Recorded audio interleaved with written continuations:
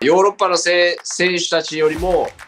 なんか南米とか俺らみたいな地域の国の方が、多分ワールドカップに対しての思いが強いというか。今の日本の戦い方やって、日本の、ベースを持って戦いに行くんだったら、俺はペリシッチみたいなでかくて速くて強くてっていう、勤勉な選手を、120分走れる選手を作る。堂安選手が、その、上に行くには、そのなんか戦術とかそういうところじゃなくて、こうかなり戦うところだったりとか、そういうところが大事なんじゃないかなっていうことを言ってて、ワールドカップで日本が上にこうコンスタントに行くには何が必要なのかなっていうのはすごい気になるんですね。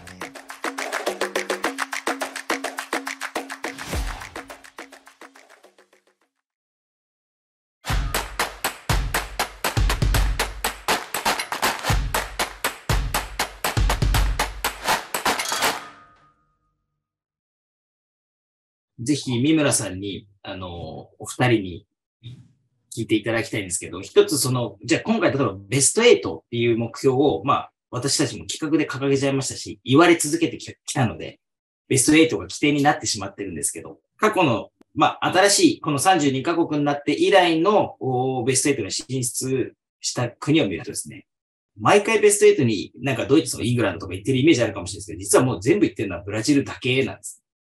じゃあブラジルがむちゃくちゃ戦術的かというと、そこももちろん昔よりありますけど、ポイントはやっぱり個の能力だったりとか、その独自性みたいなところがあったりするとは思うので、三村さん、こういったことを踏まえて、そのジャーナリストから見て、お二人にベスト8の立て方が正しいのかどうかも含めて、なんかちょっとご質問いただければと思ったんですけど。え、僕まずこれで聞きたいのは、その岡崎選手がクロアチア戦終わった直後にベスト8の壁を自分たちで作ってるんじゃないかっていうような指摘をしてたじゃないですか。その、はいはい。それをちょっとすごい、それは本当にまさにそうだなと思ったんですけど、あれどういう気持ちだったんですか？いや、本当にそれだなって、自分たちでその、そこに縛られすぎちゃってるっていうか、まあ先輩たちが縛っちゃったみたいな感じの岡崎さんのニュアンスだったと思うんですけど。まあ、ちょっと時代とかもあるあるって僕は思って、僕自身もちょうど去年ぐらいに、その、まあ、いわゆる日本人のなんか良さみたいなものがあったから、今まではここまで海外でやれたって思ったんですけど、去年ぐらいから、なんか急激に日本人だから損したことの方が多いな、みたいなところを感じるで、例えば罪悪感というか、パス味方に切れられて出せよって言われた時に、こっちも切れてるんだけど、なんか申し訳ない感じが残るみたいなのって日本人思うんですよ。例えば雰囲気を崩すとかもそうだし、その、じゃあワールドカップにおいてで言うと、それぞれの気持ちがあるわけじゃないですか、あの団結感の中には。けどなんかやっぱ PK になった時点で、急激にあの心強かった団結感が多分みんなにとってはすげえプレッシャーに変わった瞬間だったなと思ったんです。俺、クロアチアのあの PK の瞬間に。PK って一番出ると思う。要は、そのヨーロッパが団結っていうのが、振り込まれた団結感なのか、勝手に生まれた団結感なのかっていうのが、俺はちょっと違うと思ってて、日本は作り込まれてるから、なんかその分責任感じることが多いのかなと思ってて、だからそれを、あの、加味すると、これから新時代という言うんだったら、そんなこともあの、他の選手が自然とそういう、俺たちベスト4に行きたいんだ、俺は優勝したいんだ、みたいな、いわゆる次の世代の奴らの発信、なんか、その、本当のハングリーさみたいなのが見たいっていうか、ああ、なるほど。だそれ、それだけ変わってるんじゃないかなっていうのは感じたんで、例えば鎌田とかにしてもそうだし、僕とか、そのポテンシャルだからこそ、なんかあの発言になったんですけど、今までの日本のその作り込まれたもんじゃなくて、本当のこの自然と出てくるもので見たいな、みたいな感じです。なるほどね。なるほどね。ちょっと俺、その今の話と付随して、豪徳選手に2つ聞きたいんですけど、一つは、その、こう、ちょっと今岡崎選手が言った、こう、怒ったりして罪悪感みたいなこと言ってて、今回だと、例えば鎌田選手がこう、味方に言ってて、それがすごい話題になったりして、何に怒ってたんですかみたいな。かなり険しく試合中怒ってたみたいな。で、僕も聞いたりしてて、それは戦術的に何が起こってたのって聞きたかったんだけど、でも、鎌田選手なんかは、それがやっぱ話題にされちゃう方が、やっぱ日本未熟だみたいなことを言ってて、コスタリカ戦でも、あの、多分数的に余ってるんだから、後ろの選手もっと前半の終わりぐらいに上げてよってすごい怒ってたんだけど、なんであれ怒ってたんですかって試合に後に聞いたら鎌田選手は、それはやっぱり日本人がそういうのがまだ、馴染みがないからそんなとこやるけど、あれは普通なことだみたいなことを言ってて。かは、あの、豪徳選手もかなり言えるじゃないですか、そういうところ。あれってそもそもどう、えー、日本人がそんなところを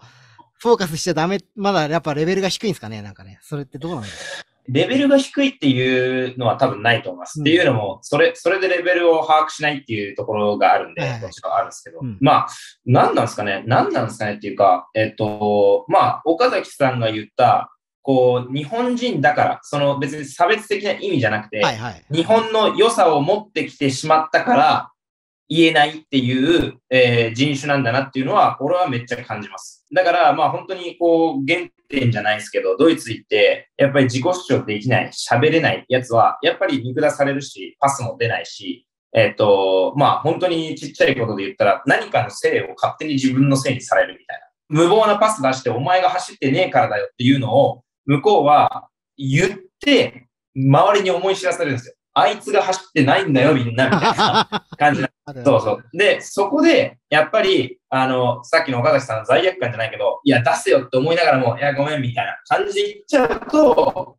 やっぱり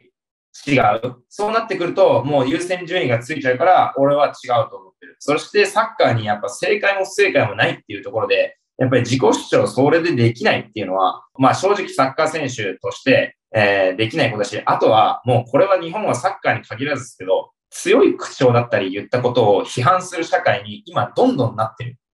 だから、その普通の生活からもそうですけど、わかんないですけど、ちょっと、えー店員がお客に対する喋り方が少し生意気だったり、少し強かったら、なんだこの店員ってなる、その、なんていうんですかね、礼儀が正しい国では、ならではの弊害みたいなのは、やっぱりその人に染み込んでるなっていうのは思ってて、うん。やっぱりそれは向こうに全然関係ないし、自己主張っていうところに対して自分が主張される誰かに何かものを言われることに対して日本人って本当に慣れてないなって思ってて、僕はやっぱ海外に行って自分がそうやって自分であることを主張するってことが当たり前なことでしていかなきゃ自分が潰されていくもんだと思ったので、うん、だから、まあ、僕はもう鎌田選手にもう100%、えー同感ですね。やっぱそれを言って、えー周りが盛り上げてるような、まずそもそものメディアのサッカーのレベルが低いのかなって思いますね。はい。見る観点が低いからこそ、自分たちに入ってくる情報のレベルも低いし、えー日本サッカーの発信のレベルも低いから、サッカーが発展していかないっていうのは、えー全、うん、カテゴリーで言えることですね。メディア、えー現場、えー歴史、全部のところで言えることだと思うんで、まあそこで言わせてもらったら、ちょっと三村さんには耳が痛いかもしれないですけど、メディアのレベルが低いなって俺は思いますね。話題にするところじゃないかなと思います。